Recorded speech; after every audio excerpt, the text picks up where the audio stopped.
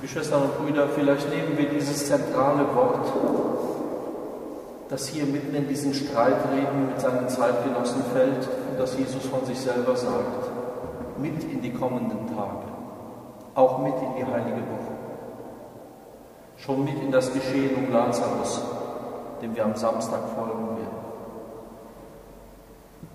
Wenn jemand an meinem Wort festhält, wird er auf ewig den Tod nicht schauen.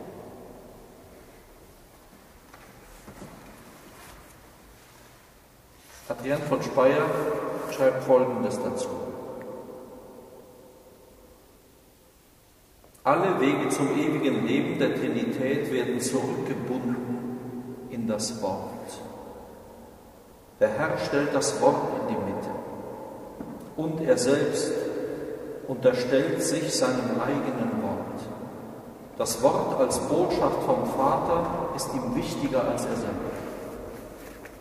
Er will nichts anderes sein als dieses Wort und will auch als nichts anderes gelten. Auf das Wort sollen sie hören, das Wort sollen sie bewahren, denn das Wort verbirgt das ewige Leben. Wer es aufbewahrt, wird ewig leben. Man kann es auch hören und dann in sich verdorren lassen wenn man es nicht achtet, wenn man es wie ein Ding unter vielen anderen Dingen behandelt und für eine spätere Gelegenheit auf die Seite legt. Weil das Wort lebendig ist, braucht es Nahrung und eine Umgebung, in der es gedeihen kann. Diese Nahrung ist die Liebe des Menschen zum Wort, zum ausgesprochenen Wort, das der Sohn ist, und zugleich zu dem, der es ausspricht, zum Vater. Im Wort also ist beides enthalten, Vater und Sohn und auch die ganze Liebe zwischen Vater und Sohn.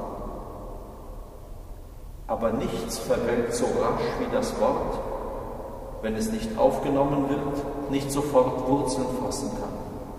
Man kann es nie für später beiseite legen und denke, man werde darauf zurückgreifen können. Es gibt kein später, sondern immer nur das sofortige heute.